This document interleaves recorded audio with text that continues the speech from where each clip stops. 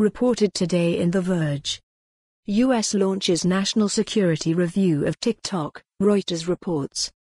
The United States has opened a national security review into TikTok's parent company over its acquisition of social media app Musical.ly, Reuters reports.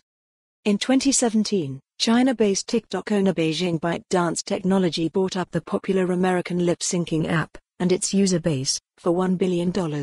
Last year, the app was fully rebranded as part of TikTok. But in the time since the deal closed, TikTok has faced substantial pressure from U.S. lawmakers who have questioned how the company moderates its political content and stores its user data.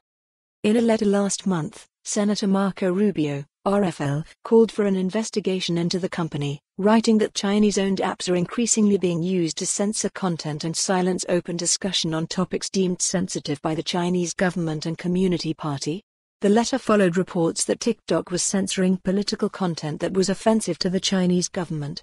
The company has said its moderation decisions are based in the US and are not influenced by any foreign government. Rubio's note was followed by one from Senators Tom Cotton, RR, and Chuck Schumer, DNY, also calling for a review.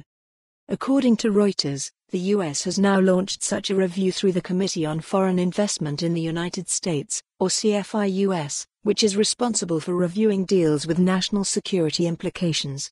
The news service reports that TikTok did not go through a CFI US review when it made the musical.ly acquisition, and are in talks about national security concerns now. The investigation is the latest hurdle for the company, which has dealt with intense scrutiny as the tech industry as a whole faces renewed questions about Chinese censorship online. Last month, in one notable example, Apple was criticized for pulling an app used by pro-democracy protesters in Hong Kong.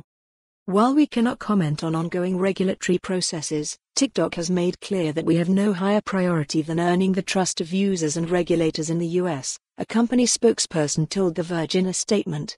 Part of that effort includes working with Congress and we are committed to doing so. For more on this story, visit the news article link.